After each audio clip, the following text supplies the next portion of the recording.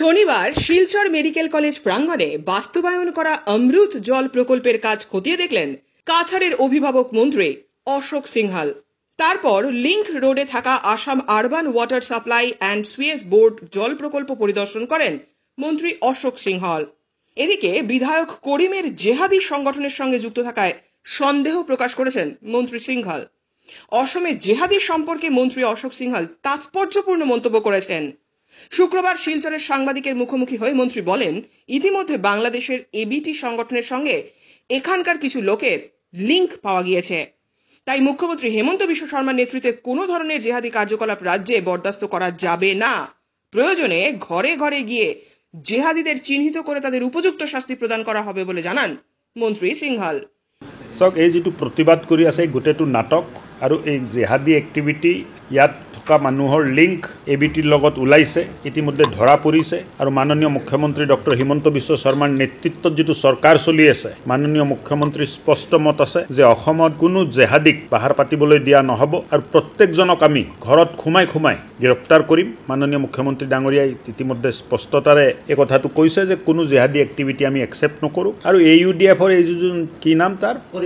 কৰমুদ্দিন বৰভূঞা। মইতো বিচাৰিছোঁ যে পুলিচে তদন্ত কৰিব লাগে তাৰো কিবা জেহাদী লিংক আছে নেকি?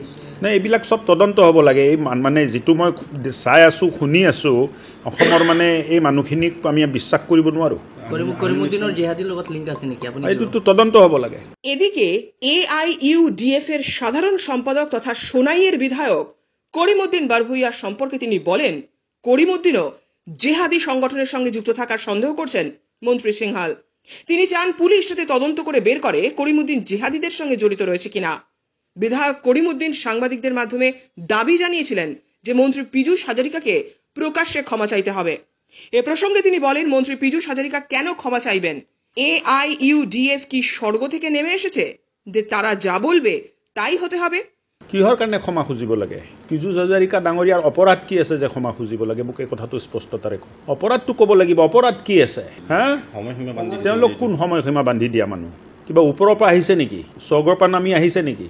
যে তেখেতৰ বাণীয়ে মানে শেষ বাণী হ'ব? হুম? তেও- তেওঁলোকে আৰু এটা কিয় জিহাদীৰ বিৰুদ্ধে নকয় তেওঁলোকে? কিয় সাম্প্ৰদায়িক মানুহৰ বিৰুদ্ধে নকয় তেওঁলোকে? সদায় বিভাজনকামী মন্তব্য দিয়ে। আৰু এইটো কোনো কাৰণত অসমৰ মাটিত বৰদাস্ত কৰা নহয়। আমিতো বিচাৰিছোঁ যে এ ইউ ডি এফ অসমৰ মাটিৰ পৰা নোহোৱা হৈ যাওক এই বিভাজনকামী চিন্তা থকা দল অসমৰ মাটিত নোহোৱা হৈ গ'লে আমি ভালো।